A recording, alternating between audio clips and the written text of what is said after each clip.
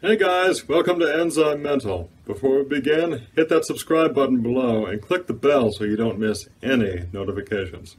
And today I'm going to introduce you to a vitamin D activated family of proteins that function as part of our innate immune system, or the immunity that we're born with, that is largely the body's first line of defense against pathogens and other invading microbes. These proteins are called cathelicidins, and they're known as host defense proteins or antimicrobial peptides, and they're highly effective against bacteria, fungus, viruses, and parasites, and again, vitamin D is a potent cathelicidin activator.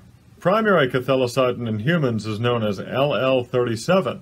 Our neutrophil white blood cells store this cathelicidin and release it once the neutrophils are activated. But cathelicidins can also be released by other immune cells like macrophages. As you can imagine, a reduced expression or a total lack of cathelicidins is associated with an increased risk of infection and even the progression of autoimmune diseases.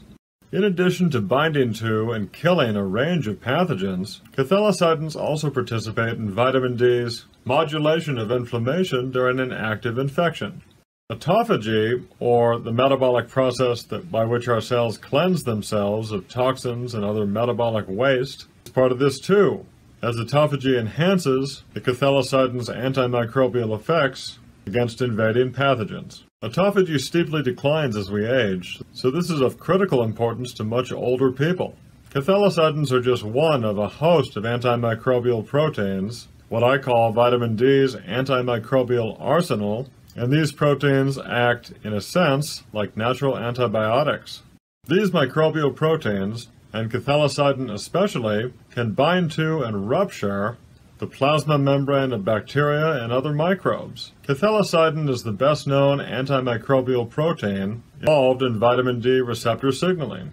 During an infection, vitamin D coordinates the innate immune system to produce antimicrobial proteins, including cathelicidin. These antimicrobial proteins then regulate the functions of several immune pathways, like autophagy, cytokine production, reactive oxygen species, and interferon.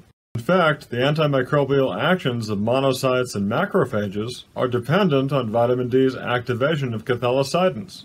So when you hear that vitamin D is one of just a few select nutrients that actually activate the immune system, this is one major reason why.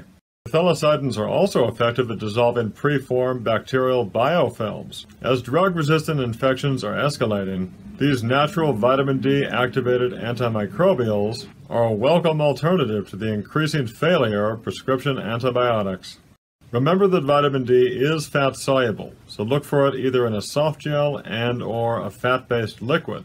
You should be pairing your vitamin D with magnesium because magnesium is required to convert vitamin D into its active form, and also magnesium supports the function of several immune cells in its own right.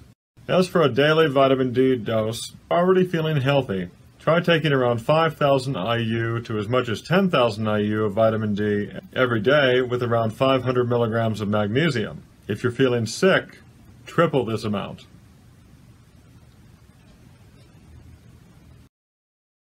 Thanks for watching. I'm Jason Carter, and I'll see you next time on Enzymental. Stay healthy.